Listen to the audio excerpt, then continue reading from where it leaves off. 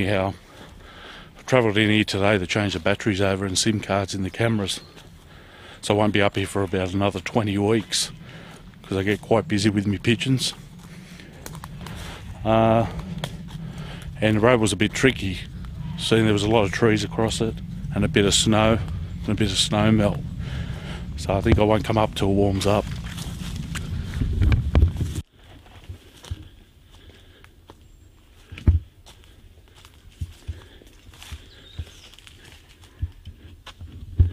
Okay. Everything seems to be in the same place I left it. Nothing's been tampered with. Uh, what I'll do, I'll pack this up and we're going to go in a little bit further today just to see what happens.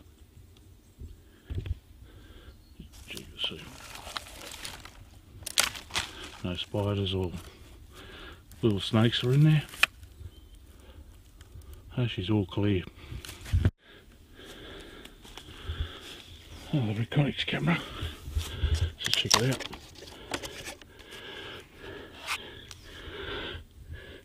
And I think it's finally ran dead. It's been a long time. Hang on. I was reading the card. So maybe it wasn't dead. Still 99% battery life and 555 pictures. Alright, we'll swap the cards over, see what we've got.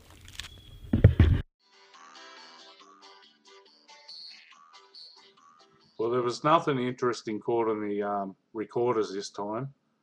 Uh, they, they only ran for the first five days. But the cameras have been up there months and months. And once again, on the camera, all we caught was a lot of wildlife. Now on the plot watcher, I did catch something white that was running past the camera so quick. And here it is in slow motion. And if you closely look at it, it's definitely got to be a dingo. Anyhow, here are the wildlife photos off the Reconyx camera.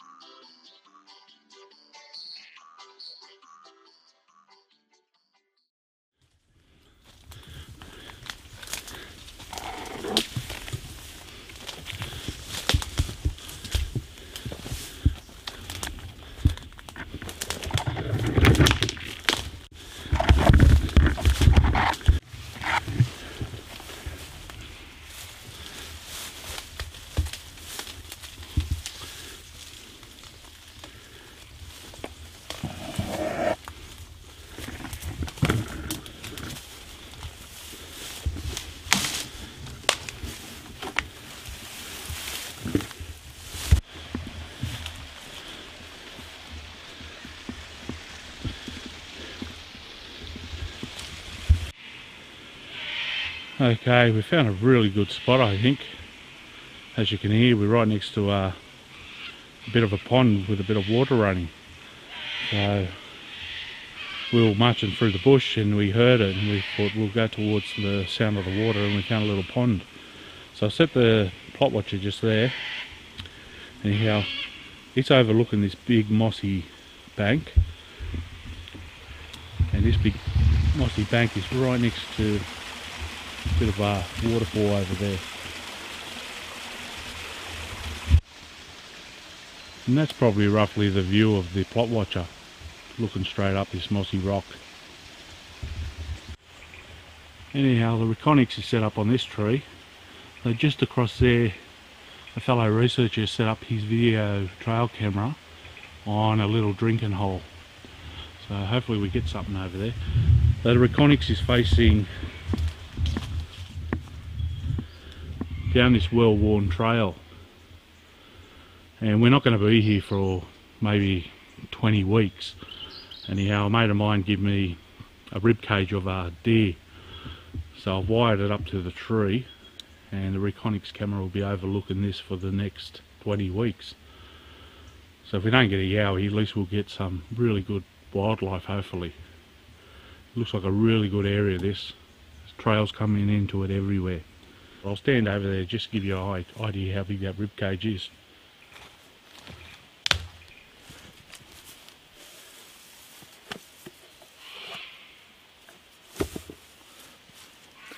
Anyhow, that should bring something in.